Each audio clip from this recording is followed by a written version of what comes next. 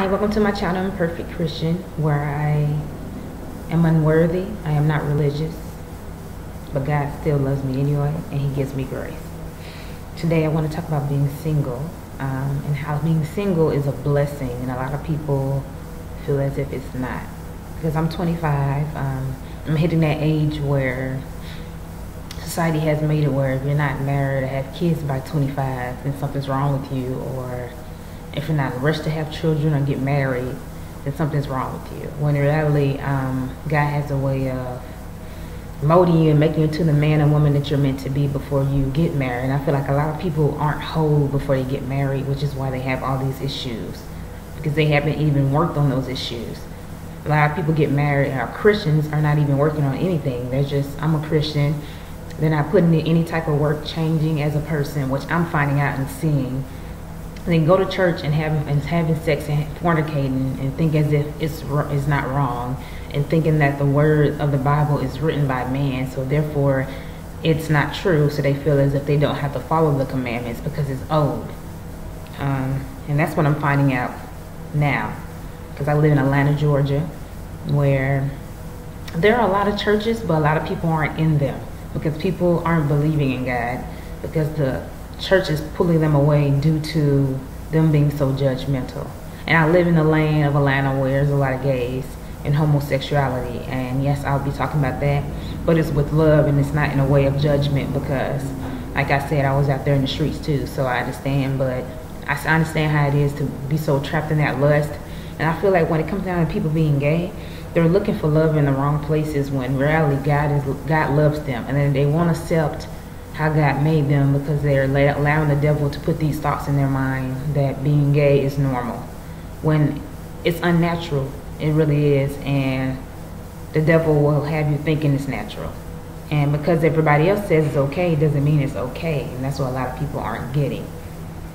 Um, and yeah, me just being who I am now. I've been celibate for I guess 12 months, something like that. Um, I don't count, but I've been celibate for a long time. Um, and I've been doing good. It's called self-control and realizing that you're worth.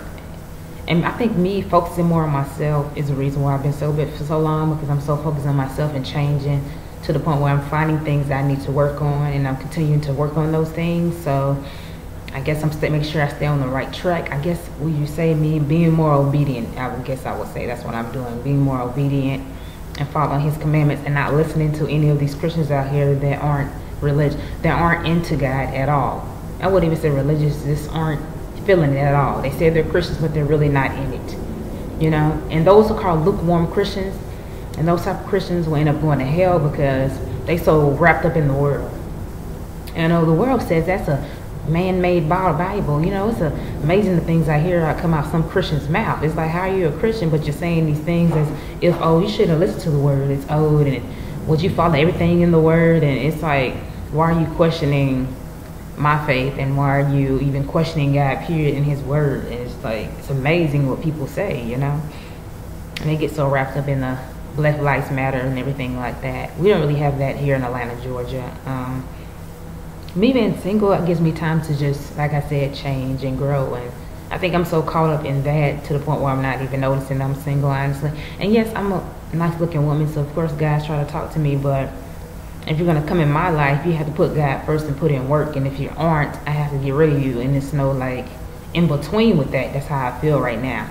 If you're not a godly man, you're not putting in any work, you're not changing, and you don't see nothing wrong with yourself, and you're not even even trying to work on that, but you're so focused on I need to be in a relationship, I need to be in a relationship, but you're not even whole, and that's why I'm getting out of a lot of people I'm meeting in general, girls and guys, and it's like you're so hungry for a relationship, but you're not even complete, you know, and you want to have kids, but you're not even complete, you're not even focusing on God. Why would you have a child when you're not even focused on the Lord, you know?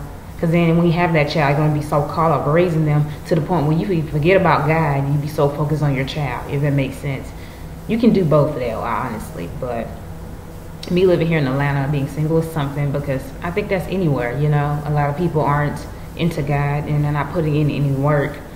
And I want to be surrounded by people that are going to uplift me and want to see me happy, not see me fall flat on my face. And not make a fun make fun of the religion, you know, or make fun of me because I'm different And I want to be around people that kind of understand me in a way also and not always questioning me and looking at me sideways, you know.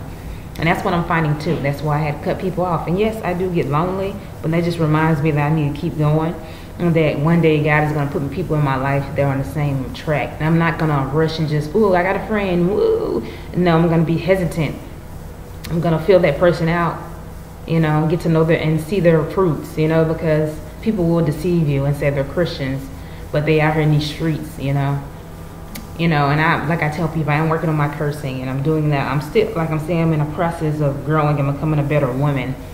And most people say, oh, you're very hungry for it. I guess I would say that I am, because um, I just want to become a better woman, you know, just for myself. I'm not even so focused on relationships, honestly, but yeah, I've met some people, some good guys, you know, but they weren't the right guys. But for me, doing to them being, we are unequally yoked. I can't be in a relationship with an unequally yoked person.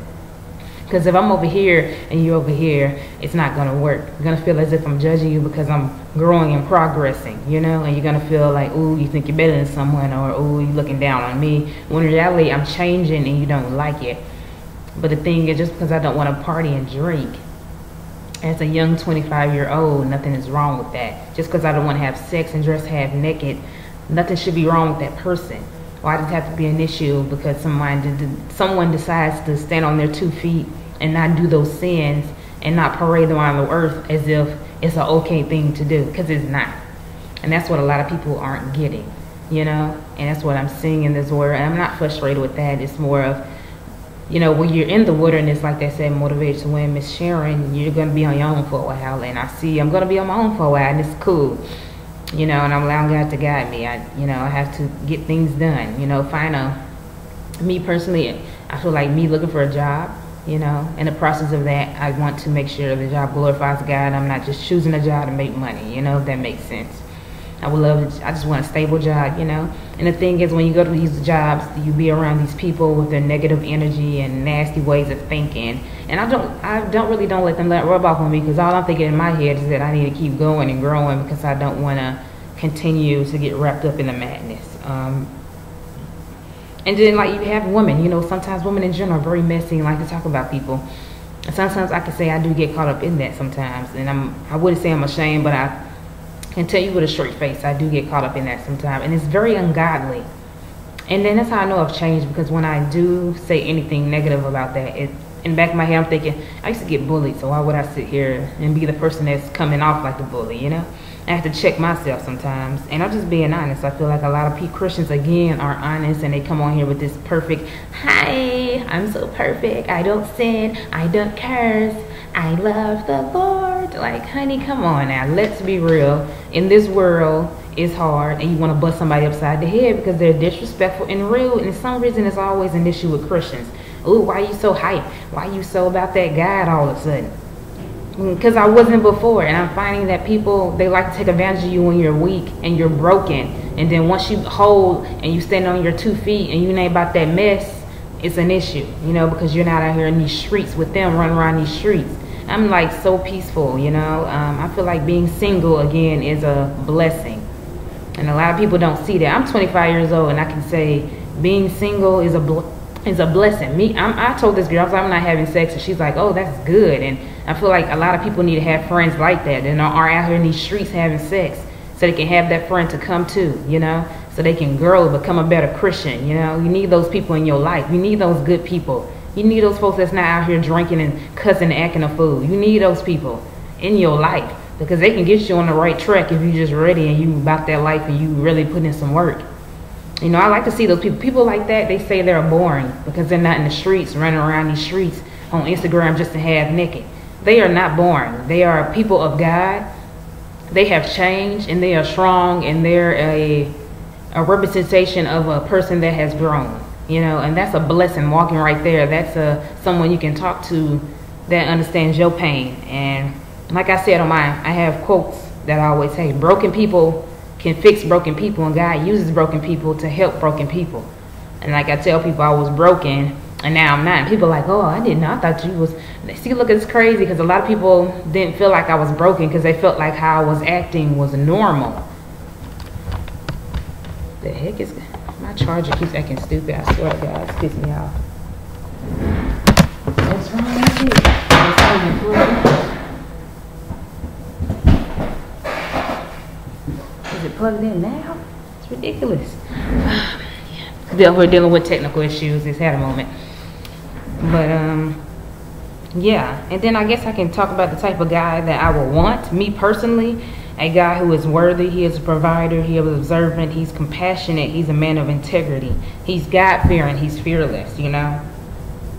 He's open for change. I feel like a lot of guys are not open for change. People in general, women and guys, it's both ways. Open minded, you know, family oriented, you know, caring. Like I feel like being a caring guy is such a bad thing now. Like, oh, he's a punk. Ugh. It's like, no, that's a good man that she cares about your soul. Like, what are you talking about? A man that tells you you need to cover up and respect your temple, that's a man of God. Like a man that not out here drinking and calling girls all kind of cuss words and you know, oh, I'm about my and money. I make that money. You know, that's not a good man. You know, a man that you know knows God. You know, a man that prays. He'll pray for you before he pray for himself. A man that loves God more than he loves you and himself. You know, a man that knows his word. You know, he can speak that word like it ain't nothing. You know, he can break it down from you know chapter to chapter, and it's like it's easy for him. You know, a man that walks the walk and talk the talk, and not like sitting there saying he a Christian, but he out here having sex with all kind of women. You know, a man that respects his temple. Um, a man that knows his worth. Because I feel like a lot of men don't know their worth. That's why they come out here having sex and just, you know, and they're very insecure, I'm finding also. Um, a lot of men are insecure women too. So you're not the only one feeling insecure. There's a lot of men insecure because they feel as if they have to be this macho. I got to be in shape. I got to be fine. I got to have that money. You know, I gotta be manly. I gotta come off tough all the time. Like, it, it's not that all the time, you know? It's really not, you know? And I always have that saying, do not donate sex. Uh, stop giving out sex for free, you know? And it is what it is. That's why I tell myself, you don't be giving out your, your milk for free. It, it ain't happening. I feel like a, a man respects you more when you keep them legs closed when you about when you putting in when you changing he see you changing and he see you respects your temple and you you covering up your temple you covering up you're very aware let me not show my boobs let me cover that up you know that's that's a woman that knows her worth and that's actually reading her word you can tell when a christian actually is reading their word because the way they change and act a christian that doesn't read their word they're not aware of what they're doing they really aren't. They walk around as if, oh, I'm a Christian, but you're not reading your word. You're, you're missing parts in the Bible that's very important to you as a woman. A woman, as in general, we're supposed to carry ourselves with kindness and grace. And, you know, I feel like a lot of black women in general, and women in general, come off very headstrong and, you know, uh, if a nigga, uh, you know, ooh, that's not, that's not ladylike. Um, it's really not. You're supposed to be kind and grace, show yourself with grace and kindness and show who you are as a woman through your works, you know, in a way of being giving and nice and kind. I feel like a lot of women aren't like that because the world has programmed a woman to be this, I guess you would say, feminist or independent individual when in reality it's God first, man, then woman. So therefore, with this, oh, woman can do everything, you cannot, and it is what it is. Um, yes, you can work. It's cool. I get it. But at the same time, you need to let your man be a man. And that's what a lot of women are messing up on. And I'm 25 years old saying this, and it's crazy because it's women that's older than me that don't even know this. They're teaching their daughters the wrong way in life. And it's like, come on now. Okay, it's okay to go out there and get your education. You know, it's okay that you know how to clean and cook by yourself and all that. Yeah, you're supposed to know those things already naturally. If you don't, you need to maybe work on that because, yeah, come on now some people don't know how to cook. It's like, oh God, you know, you gotta learn how to make some eggs or something. You gotta learn how to cook and clean. Okay, come on, take so you can learn how to take care of your family. You know, yeah, it's okay to work and have something going for yourself, but don't get so caught up in that that you lose your focus on God and that you don't know your purpose on earth. Because every woman has a purpose on earth, and it's not about that getting that money, getting that degree, getting that nice car. That's not what you was on earth to put up, be put on. I don't know what everybody keep thinking. Mm, I'm supposed to be on earth to do all that. That's a that's a messed up way of thinking because the world has programmed you to think that's a blessing. That's something to do. That's not nothing to do. If you're not walking in your purpose, you're wasting your time. Honestly, you really are, and that's how I feel. You're really wasting your time because you don't even know why you're on earth for. You was put on earth to be a servant of God and tell people about the Lord. You're supposed to change everything about you is supposed to glorify God. And if it's not, and it's about that making that money and dressing half naked on Instagram and trying to get a man in the most nastiest, you see, you have to watch how you get a man. Because I keep trying to tell people that if you get a man in lust, you're gonna lose him in lust, and that's why he cheats. And the thing is, if his lust and his flesh is so weak to the point where he has to have sex with you, you have to check him and learn and teach him how to control himself. Because when he gets married, he will cheat. Because the thing is, if your, your flesh is that weak to the point where you can't even hold out for sex, that's not good. That's really that's a bad sign. That's like back up, keep it pushing sign. He can't even wait for sex. It's like you can't be obedient to God. And that's just for girls too. Like you can't be obedient to God. You you can't keep the legs closed. You can't. You got to keep on having some sex because it feels good. I get it though, but it's like, come on now. Is sex worth going to hell for? That's what you ask yourself. That's what I tell myself. Is sex really worth going to hell for? Just to have some good sex. Is that really worth going to hell for? That's what I had to tell myself. Because it's really not. I had I'm literally was like, I'm not gonna go to hell for having sex. That's stupid as hell. I'm not allowing the devil to get me that I'm no. I'm not going to hell for having sex. That's how I really feel within me. Cause it's like no go somewhere. You know, ain't no Netflix and chilling, ain't none of that over here. You know, because as I say to people, being single is a blessing. So don't have don't let people have you thinking because you don't have kids, you know, and like all these material things and you know a degree, blah blah. That's the way of their way of thinking. And that's so sad that they think that way because they don't even know their purpose. They're so caught up in that they have not once even tried to figure out their purpose. And then they find themselves 50 years old, like, dang, all I was doing is working. You know, I ain't put in no work for God. I ain't, I ain't changing nothing. They still be stuck on, you know, kind of like all over the place. That's why you see a lot of old people in church because they realize they messed up when they were young. Because they like, dang, I was in here running these streets, not even focusing on God. So when they get older, they actually take it serious, which is good because it's not too late to put God first and get saved and change your ways. It's really not. It don't matter how deep you in, how broken you are, Okay, it don't matter if you're gay, because a lot of people have been gay and been delivered from that. You know, and Christians out here pushing that on them. You can't push something. You can't push God on no one. They have to be willing to accept Him in their heart. And if there aren't, it's like you're talking to a brick wall, and that's how that's how it's going to be, and that's how life is. And Christians need to wake up and realize that you can't push it down their throat. They have to be open and willing you know? And it's going to take time for them because some people sometimes in this world some people have to get beat up for a while. They have to get beat up slapped up you know? You know sad bad things have to happen unfortunately for them to even realize that god is really what all they need from the get-go. And it's sad they have to get that deep in you know and they have to watch and see you get your butt beat until you realize that oh God is love. God is what I need. God is my father. He can be your friend. You be good. Like, you be chill. Like, it's not that deep in, you know? And it took me years, like I tell people, for me to get to this point. Um, that's why I'm cool being by myself, you know? And I will always be like that because I have God, and it's like, I feel like I'm a, I'm complete and I'm getting to that point where I'm to become a whole and whoever man that comes in my life, he has to be whole. You, and I would know he's not whole by his fruits and his spirit and the way he carries himself. So you can't fool me with that one, honestly. And the devil's to try to bring in, you know, counterfeits like they be saying on YouTube, you know, counterfeits. You know, people that seem like they've got their life, but really they really aren't. But it's crazy because at some point they always show their true colors, which is funny to me because they always do. It's like at some point they going they can't keep faking it. At some point it's going to come out how they really feel, you know and it's funny. I go, I mean, I, I like being around people that actually show who they are and aren't faking it to make it. Like, let me know who you are straight up, then hide it for years because I'm gonna find out at some point that you're full of it. You know, so that's how I feel. And then for me, I guess for me, marriage. Um, I would like to be in a courtship first, of course. Um, I think a friendship courtship and then a marriage, you know? And, it, and it, there's no time limit. I feel like people are rushing it. Oh, it has to be this.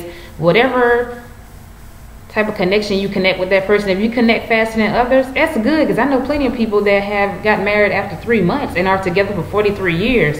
It shouldn't be, oh, you got to be married at this time, you know? Because I was actually talking to this girl, and I guess she has like four or five kids, and she's like, "Oh, you're 25, you don't have any kids. Oh, you need to hurry up and have kids because you're gonna be old." And I'm like, "What in the hell? I don't want to hurry up and have no kids because I don't want to get old. Are you? Because you're gonna have kids when you're like 30. You're gonna be old." I'm like, "Okay, I don't care." But you haven't noticed, God has made my body to where it doesn't even age that much, so I'm not even gonna look like I'm 30, honestly. So I'm gonna be good, like. My family, we don't age. Um, that's why a lot of people look at me and be like, you still look like you're 16. Um, I don't age, and that's awesome. And I, I thank God for that, for not allowing me to age. I mean, that's a blessing on its own, honestly, because God already had a plan. He knew, he's like, oh, she ain't to get pregnant for a minute. Let me, you know, make her a little youngster. You know, I, I get it you know, and it's cool. I'm fine with that. I don't care. You know, people just so, uh, you know, have kids, have kids. Uh. I'm not in a rush to have children. Children take a lot of work and energy, and you have to be whole before you have kids because I want to treat, I want to raise my kids to be leaders and not followers. You know, I want to teach them the ways of living in God's way and not be so selfish and live it your way. Because I don't want my kids to be like me and waste 20 years of selfishness, you know? Um, you know, being single and turning up and living life and drinking and dressing half naked because I'm trying to get attention because I'm freaking insecure as hell, you know? Like now I'm not even insecure. Now I'm just like, I like covering up. It doesn't bother me. It's cool. And the thing is, I cover up, right? Still be getting attention from guys because I'm a freaking, I'm not ugly, you know? No woman is ugly. So, of course, you're going to naturally, someone's going to gravitate towards you, you know, and you kind of like, oh, she's pretty, huh? You know? Um, and I embrace who I am. I don't wear makeup. Um, and I have acne scars on my face, and I do not wear makeup. People, this girl actually asked me, she's like, "How you get? How you leave the house with no makeup?" Because I have acne scars, and I just can't do it. It's like, oh, I said I used to be like that, but I think the fact that I'm growing as an individual, I just don't give a damn. I'm in this like, I don't care. I don't care. I really don't. If I could wear a shirt that says I don't give a damn how you feel about me, I really would. I would rock the heck out of my shirt. Like I don't my looks and my clothes and who and how I look does not define me. And people like, oh, it's easy for you to say because you're attractive. Okay, really? Come on, people now. Everybody has something attractive about them. It shouldn't even have to be about looks. It might be your personality. Some people might not be the finest things on earth, but dang, their personality so damn awesome. Okay, and they got that good personality and the way they carry themselves, that confidence. I mean, it gets you somewhere. Trust me. Okay, because you wonder why these guys are not so fine. Got these bad, these pretty, awesome woman because they're men of God, and also because they have that confidence and they know who they are. That's all that matters. Okay. And so for me, I guess marriage, you know, a marriage that puts God first. It's two flawed individuals that come together and put God first. They pray, you know, they fellowship, you know, they talk. They actually communicate because I feel like in marriages people don't. They just be playing around, man. And it's actually love there, you know, and it's God in the center of it. Because when you put God in the center of marriage, it's never going to fail. If, that's why these marriages fail because they don't put God in the middle if you put God in the middle, it ain't gonna go. You just gonna be whole all time, all the time. Yes, it's gonna be some issues. I mean, they're flawed, they're growing, but I feel like it's not gonna get to the point where it's a divorce. You know. And then some people, you know, for me, when I'm looking for my Boaz, a man of God, you know, he has to have godliness and he has to be spiritual mature. Because like some people are not mature spiritually yet. You know, I feel like they're kind of still getting there. You kind of can tell that, oh, he's going to get there at some point, so let me just let him continue to grow right quick. Uh, you know, you, yeah. He has to be humble. Be able to apologize for his sins and apologize just in general, you know, be a, you know, seeking after God type of guy, you know, more interested in your soul, not in your body, if that makes sense. Concerned about things of God, you know, things, you know, very caring. And he, I don't want him to be perfect. I feel like a lot of people are looking for this perfect person. You know? You know, I know how to control his temper because I feel like a lot of people don't. You know, have morals and values. A lot of people don't have morals and values. That's their way of thinking, unfortunately. Um, and I guess I, I have wrote a paragraph about like what type of marriage I don't want because that's just how I really feel. Um, a marriage. The problem with the secular world is that we worship romantic and sexual love instead of worshiping God of love. We value materialism instead of morality. We do everything sexual that only married people are supposed to do, fornication, then ask others to celebrate a wedding when we finally get around to sleep for stepping into God's marital arrangements, and then we're surprised that the horse before the cart marriages are ruined by infidelity and divorce. That's what I was saying. Like, how are you surprised when you already started the marriage off with sex and sin already? You getting up in there all hell wrong. I mean, just being honest, just straight up, just wrong. Like you got, you just got in a marriage straight up having sex the whole time. Like, are you freaking serious? And then when you get married, you surprised that all of a sudden he cheating. All of a sudden it's about sex all the time all of a sudden he whining because you ain't giving him no sex. Are you serious? It started off bad. I don't. How you gonna start something off bad and then get mad when it ends bad? Like, come on now. Like, come on now, people. I used to do. I mean, come on now. I'm raising my hand because it's like seriously. That's what I used to do. Like, really, come on now. Come on. Let's not play each other. Come on.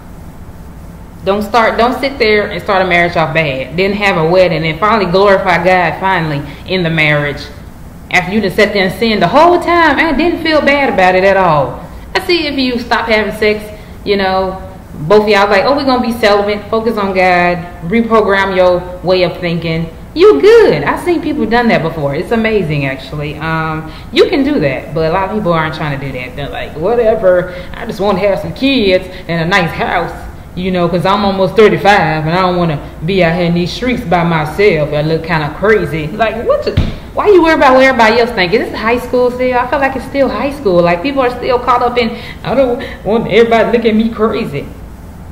I don't give a damn. I think God allowed me to get bullied to where I just don't care because it's like, come on now, people. You do not supposed to care what the world thinks. You ain't put here for them. I wasn't put here to be liked or put here for anyone. I feel like I was put here for God, and it is what it is, honey. I was like, honey, I like that. I know, right? You gotta think that way sometimes, cause it's like, man, folks gotta be messed up sometimes. No, honey, I wasn't put here for you, honey. You need to humble yourself and go pushing somewhere, cause I do not sit there and get married and you have sex the whole time. You don't feel bad. You're not focusing on God.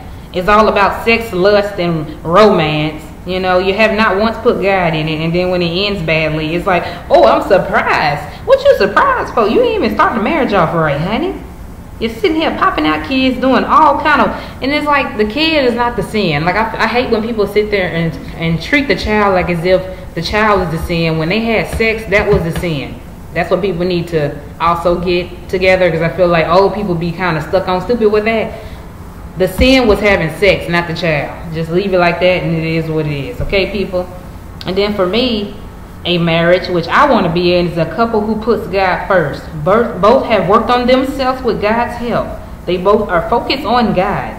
They do not value materialism, but have morals. Amen. And they will they will wait till marriage for sex and have rules so they don't cross that line. They communicate with each other and acknowledge God in every way when they get married, they do not put up a show.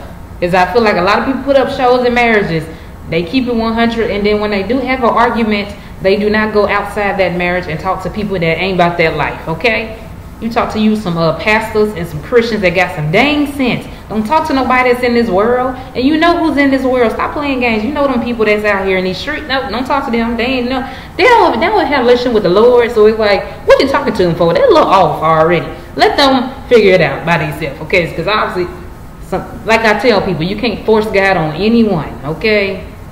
Let them figure it out by themselves, okay? Just be let people see God through you and see the way you carry yourself and kind of be looking at you kind of crazy, like, why she not out here in these streets partying, dressing half naked?